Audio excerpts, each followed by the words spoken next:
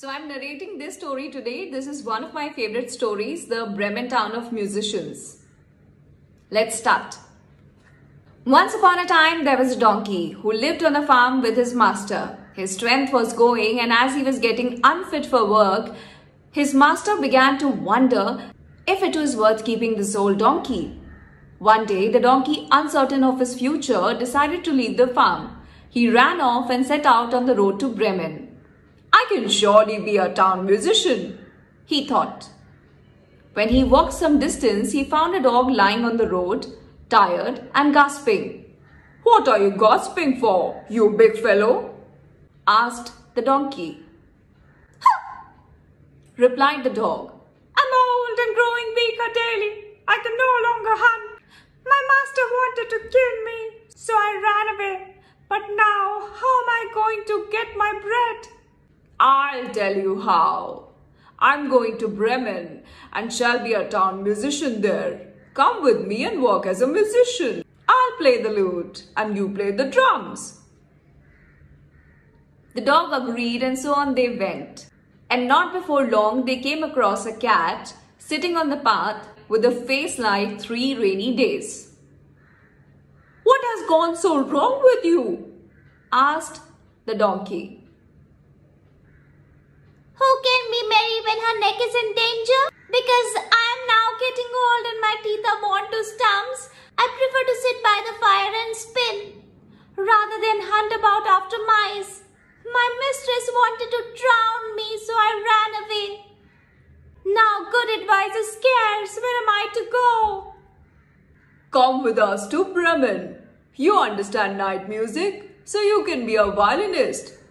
The cat meowed in agreement and decided to go with them. After three runaways, they came to a farmyard where a cock was sitting upon the gate and doing cock-a-doodle-doo with all his might. Your voice goes through and through my head. What's the matter? Cock-a-doodle-doo! Guests are coming over and housewife has no pity. They are going to cook me and eat me tomorrow, so I'm going to say goodbye to life. Don't be silly. Come with us. You have lovely voice and you could become a singer in the Bremen Orchestra. This is where all of us are going. And if we make music together, it must have some quality. The cock agreed to this plan. The sun had started to go down and the four friends were looking for shelter for the night. They came across a house which was being buggled. The donkey looked through the window and saw a table there which was generously laid with food and drinks. Since the four friends were very hungry, they decided to drive the burglars away. The dog climbed on the donkey's back. The cat stood on the dog's head and the rooster perched on the cat's back. They started their concert. Hee haw, woof woof, meow, cock-a-doodle-doo. At the noise, the burglars started shouting in fear. Help! Ghost is coming to us. The men ran out of the door as fast as they could. Now the four musician friends sat down for dinner and they ate, drank and were merry. Full from the delicious meal, they looked for a place to sleep and turned off the lights. The burglars were watching the house from distance. They decided to send one of them to check whether the ghost was still there in the house. The man who was sent approached the house quietly. Shaking with fear, he reached the door and stood to listen. Since there was no noise, he went to the kitchen.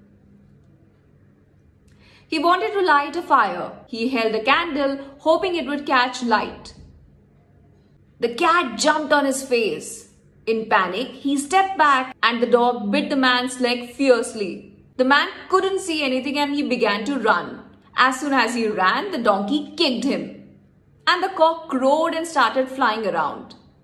The burglar ran to the ringleader and said, It's just not ghosts, but there are witches in the house. Some of them scratch, others bite, and few others kick. It would be better if we moved somewhere else. When the rest of the burglars heard the story, they left the place as quickly as possible. So the house now belonged to the four musician friends who lived there for the rest of their days and made good music. Moral of the story is unity wins. Together we are a great force and can fight any situation.